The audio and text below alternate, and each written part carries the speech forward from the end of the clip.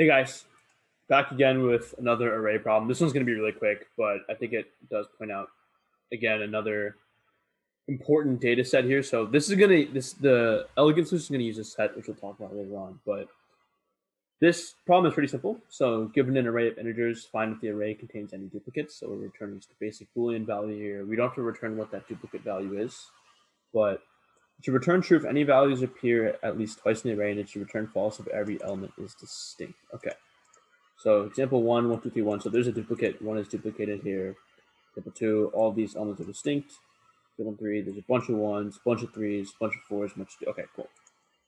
So pretty simple. And again, my brute force intuition is to let's just compare every value to every other value. If they're ever equal, then we return true. It does contain a duplicate. Otherwise, if we go through all the elements and we don't have any problems, we'll just return false. It doesn't. Every element is unique. It doesn't contain duplicates. So int, instead of our basic for loop here, and again, we're gonna have it bounded to nums.length minus one because we're gonna start j at i plus one, so we don't perform any redundant comparisons, right? Like if you're ever doing, if you ever have to do a nested for loop, make sure that you're not doing a redundant comparison, right? So redundant, especially in in this problem, because if you start a j at zero, as soon as they point to the same element, you'll get that this will always return true. It will always contain a duplicate. So especially with this one, you have to make sure that they're always checking distinct elements. So we're going to start it at i plus one. We're going to make sure it's less than nums on length. The j, the inner for loop will go all the way to the end. And then if nums i is equal to nums j. So if the integer values are ever equal, then we return true. Otherwise, we return false, right? So if they never, if they're never equal, it doesn't contain duplicates. And we also have to address if it's if it's empty. So if the list is empty, it can't contain duplicates.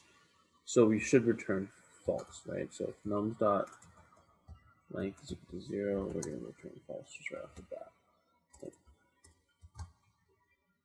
Okay, let's see how this runs. Okay, accepted the, the test case here. This first one, against one. Let's submit it. Okay, so time limit exceeded. Look at the details here. It passed all the test cases, but it just it just took way too long. Right. The reason this is again an end-to-end solution. So what's probably happening is they're probably giving us a integer array that's huge. And the reason this is a problem is probably because they want to see if you could do it without without doing this end-to-end solution. Okay, so let's get rid of this. This is pretty bad. So is there a way to do a one-pass linear solution like we did with max profit and like we did with two sum? The answer is yeah, absolutely, right? And like I said earlier, we're going to be using something called a hash set. So a hash set is really cool because a hash set in Java is like a set in set theory. It only keeps track of distinct values, right? So if you have a hash set and you add the element one to it a hundred times, when you print out the value of the hash set, it'll just have a single one. It'll be, it'll just have one element in it, right? So if you try to add a duplicate, it'll just ignore it and won't actually do anything. It won't throw an error. It just won't do anything, which is really good, right? Because all we want to do is just keep track of duplicates. So hash set integer set is equal to new hash set. This is the syntax for defining a hash set in Java. And pretty much what we're going to do is going to be pretty simple, right? So for each integer in nums, we're going to add it to the set. And then we return if, so we're going to each add, we're going to add each integer to the set. And let's assume that we had a nums that looked like this, right? Super simple. This obviously contains a duplicate. In this case, our set will look like this. So if there is a duplicate, the length of the set should be different from the length of the array. Alternatively, if our nums look like this, then our set would look like that as well. So, and this is a curly brace, by the way, I use curly braces to represent sets. So it's pretty easy. So we just return if hash set so if if set dot, I believe it's length. Let's see. Sometimes you have to look this stuff up. Okay, so it's dot size. Okay, great. So set dot size if it's equal to nums dot length if equal return false it does not contain a duplicate else return true. Okay gotcha. However if you ever have an if statement that looks like this or if something is true then return a boolean. Otherwise return the opposite of that boolean. You can just simplify this to one line.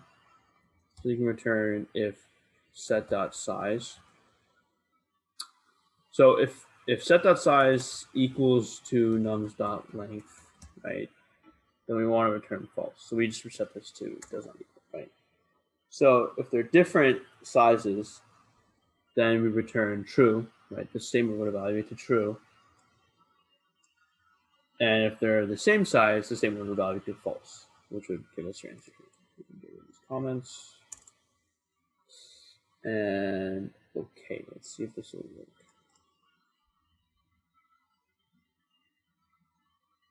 Oh, I forgot my uh, semicolon here. That's all.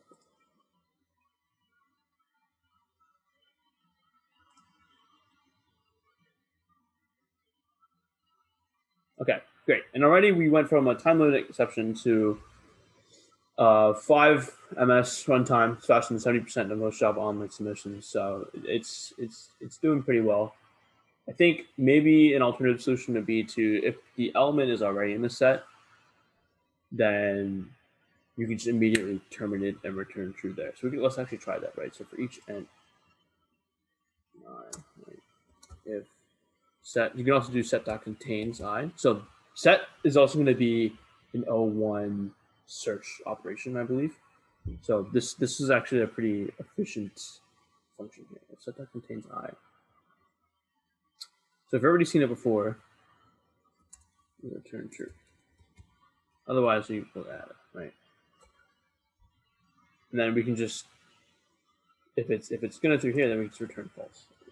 If it's never, if it's never, if it's only gonna add elements and it's never going to fall into this if block, right? If it never contains it, we can just return false immediately. So let's try this solution. Okay, so it's, it's roughly the same.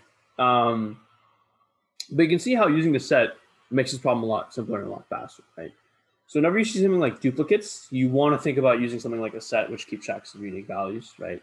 It's a really basic way to use a set, and we'll have more set problems later on. But real quick question today. Just kind of wanted to introduce another array problem and the concept of a set to you guys. So again, if you guys have any further questions, leave them in the comments, and you know, hope to see you, see you guys next time.